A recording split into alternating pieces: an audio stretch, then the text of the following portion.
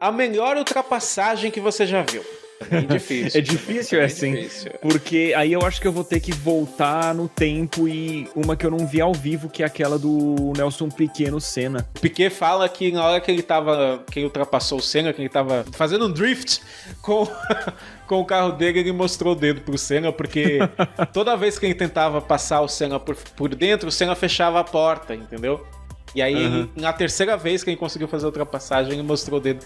Ele diz, não, Nelson Piquet diz que ele mostrou o dedo pro Senna, mas não dá pra gente ver, né? A gente tem um vídeo e a gente não vê dedo nenhum levantando. Talvez, é, seja... talvez tenha sido algo mais mental ou só por trás do volante, mas. É, exato. Aquilo é inacreditável, porque, tipo, não é que você tá ultrapassando um piloto qualquer, você tá ultrapassando o Senna. Exato. E não é que você tá ultrapassando de qualquer jeito, você tá indo por fora e você tá um pouco além do grip, né? Então o carro daquela deslizada. É incrível aquilo. Eu lembro de. Tem duas ultrapassagens que eu lembro que eu falei, nossa, na história da Fórmula 1. A primeira é o Weber passando o Alonso. Não, o Alonso passando o Weber na Rouge em Spa, que, meu, você botar por dentro na o Rouge, ali no começo da subida, sabe? Em uhum. Spa, você tem que ser muito macho, cara. Ele passou. Eu lembro de duas ultrapassagens do Massa também. Uma que o Massa fez em cima do Bruno Senna em Singapura, que ele veio com o carro totalmente torto, segurando e conseguiu ultrapassar. E uma ultrapassagem do Felipe em cima de dois carros no Canadá, também no grampo. Que eu lembro que no dia eu falei, nossa senhora, hein? Mostrou que, que tem talento, menino. Melhor batalha por posições que você já viu. Ah, eu vou falar Olha só como Felipe Massa, né? Às vezes não é tão respeitado. Não, você vai mas... falar mesmo que eu? É, provavelmente, né? Massa e é. Kubica é. no Japão. É, é. Eu, meu Deus, que, na chuva, o que, que é aquilo, cara? Vale dizer que existia controle de tração ainda, né? Então talvez o controle de tração tenha ser, servido para uma das coisas mais incríveis da história da Fórmula 1. Claro que muita gente vai lembrar de Arnoux e Villeneuve, né? É, nos anos 80. Sim. Mas eu acho que aquela batalha do Felipe com Kubica Cara, aquilo foi inacreditável, né? Não, e eles estavam usando a pista e além e, meu, não parava, né? Eu lembro que eu tava vendo ao vivo a corrida e, tipo, impressionante. Eu não cons... Eu fiquei vidrado, cara. Foi muito bom. E o Massa, ele era bom de chuva, o Kubica também. Não é que eram dois pilotos meia-boca, tava, tipo, com o carro de qualquer jeito ali. Eram dois bons pilotos de chuva no limite do limite para ver quem ficava na frente. A história mais maluca que você já ouviu relacionada à Fórmula 1. Aí eu preciso até verificar a veracidade se eu tô lembrando direitinho. Então, se eu tiver meio errado, a galera corrige nos comentários. Mas não tinha um ano, cara. Aí é a história que eu ouvi. Em que o Nelson Piquet ele enchia tipo um tanque extra de água no carro para na pesagem o carro dar, no, dar um peso e na corrida ele soltava água para ficar mais leve. Então eu não sei o quão preciso é isso, mas alguma verdade deve ter aí, porque o Piquet era cheio das malandragens, né? Então, a história mais maluca que eu já vi foi a do Spygate, Edu. Você lembra disso? Foi uma... Que foi do caso de espionagem McLaren Ferrari, né? Exato. Que é um funcionário da Ferrari, vendeu informações, o Mike Coughlin vendeu informações da Ferrari para a McLaren mas o mais maluco para mim tudo isso é que como foi descoberto que ele com a esposa, né, o, o rapaz da McLaren foi tirar xerox dos documentos e aí o menino do xerox falou, achou os documentos estranhos e ligou para Ferrari falando Oh, tem uns documentos aqui, não são de vocês, não? eu, eu acho Sério que eu não sabia que foi assim, não. Foi desse jeito que a Ferrari descobriu, sabe? Existia uma sensação na Ferrari que tinha alguma coisa acontecendo porque o carro da McLaren estava cada, cada, vez mais parecido com o carro da Ferrari. E aí, através desse cara do bazar, que deve ter duas Ferraris na garagem hoje em dia, no mínimo, por causa dele, que o Spygate foi descoberto. Então, para mim foi a coisa mais louca, a história mais maluca que eu vi na Fórmula 1 até hoje, Edu. Uma equipe que saiu da categoria, mas não deveria ter saído. Eu gostava muito da Super Aguri. Tipo, muito. Era muito da hora a Super Aguri. Quem Inclusive... jogava o F1 2006 do PlayStation. É por aí. É, é Inclusive, eu lembro muito do Takuma Sato ultrapassando o Alonso por fora no Canadá, cara. É. Antes da curva dos campeões ali na chicane. Se eu não me engano, essa, essa equipe era uma equipe da Honda. A Honda tinha dois times na Fórmula 1, né? Quem diria? Hoje tem de novo, né? Tem Red Bull e, e Toro Rosso, mas só fornecendo motor. Na época eram duas equipes mesmo. E a Super Aguri começou a andar mais que a Honda. e aí eles tiraram a Super Aguri da, do campeonato. E o Takuma Sato é um cara que tem talento, né, Edu? A última corrida da Fórmula Indy ele ganhou de ponta a ponta também.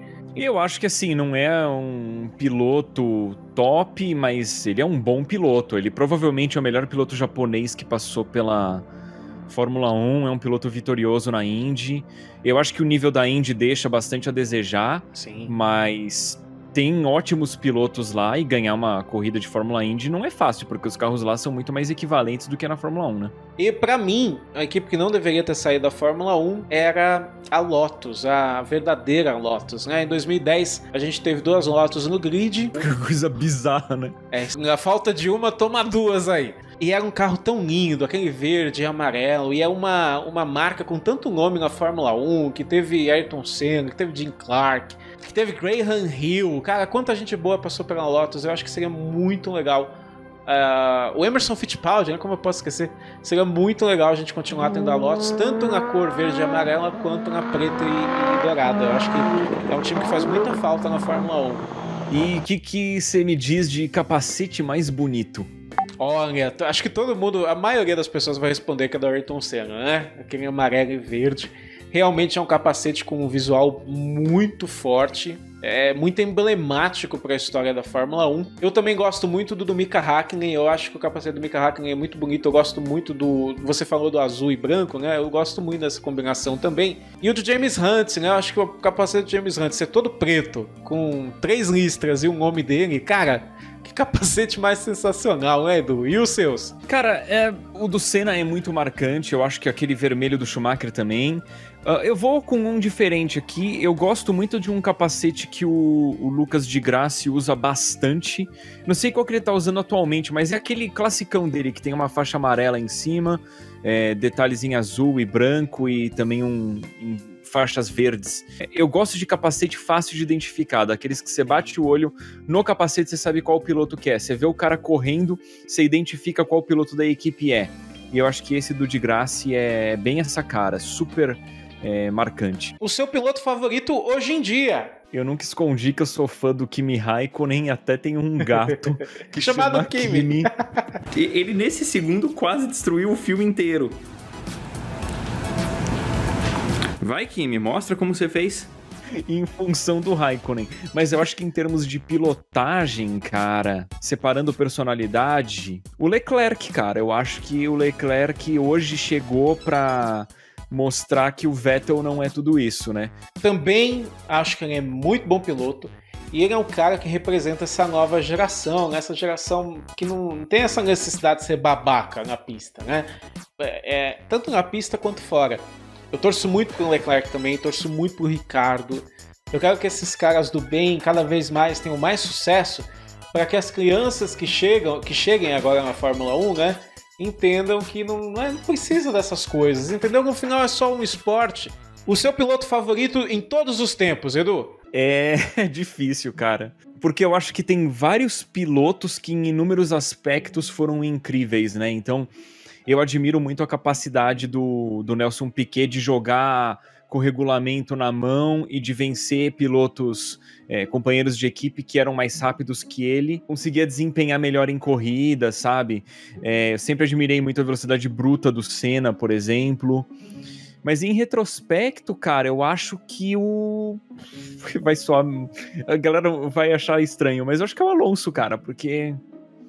Eu tô para ver um, um piloto que tira tanto do carro como o Alonso tirou, cara. Ele sempre deu um pau absurdo em todos os companheiros de equipe e ele sempre foi extremamente rápido na chuva, no seco, em situações é, climáticas é, que ia mudando, né? A corrida chove e seca, ele era rápido. Não sei, ele sempre foi absurdamente rápido em tudo que é situação e não sei, eu, eu acho que o Alonso foi o não só o meu piloto favorito, mas eu acho que ele é o melhor de todos os tempos e é uma pena que ele ganhou dois títulos só. Gente, olha, é assim, a Fórmula 1 chegou na sua corrida mil. A gente que gosta de Fórmula 1, a gente nasce com alguma coisa diferente, porque a, a gente gosta de ver esses carrinhos, a gente acorda de madrugada para assistir.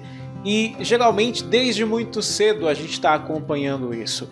E melhor ainda, né? Ou mais peculiar ainda, melhor dizendo, nós somos uma comunidade que é menor do que a de outros esportes, como por exemplo o futebol, e a gente consegue conversar entre a gente, a gente consegue fazer amizades através da Fórmula 1. Pô, aí o Edu tá lá no Canadá, eu tô aqui em Guarulhos e a gente criou uma amizade por causa disso. Eu tenho muitos amigos que eu criei por causa da Fórmula 1, então eu devo minha vida esse esporte e eu sempre senti dentro de mim que eu teria que trabalhar com algo relacionado a esse esporte.